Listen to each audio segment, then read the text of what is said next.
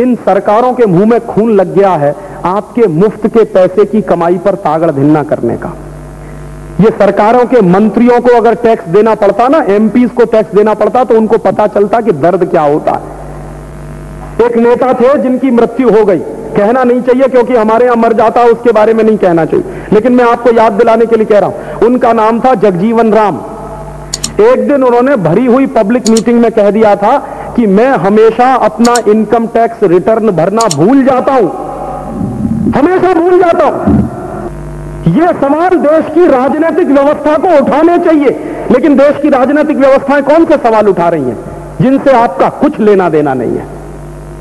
आपको बांटो जातियों में, आपको बांटो धर्म में, सिर्फ़ उनको वोट चाहिए। जो महत्वपूर्ण राजनीतिक प्रश्न है वो देश में कभी उठाए नहीं जाते पार्लियामेंट के अंदर।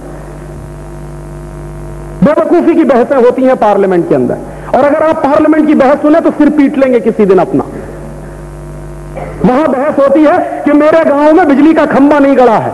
मेरी सड़क की नाली चौक हो गई है। मेरा यहाँ कूड़ा नहीं उठा। यह सब काम के लिए पार्लियामेंट है। जो बहस होनी चाहिए म्यूनिसिपल कॉरपोरेशन में, वो चली जाती है पार्लियामेंट में कभी कभी जो बहसें होनी चाहिए पार्लियामेंट में, उनसे किसी को मतलब नहीं है।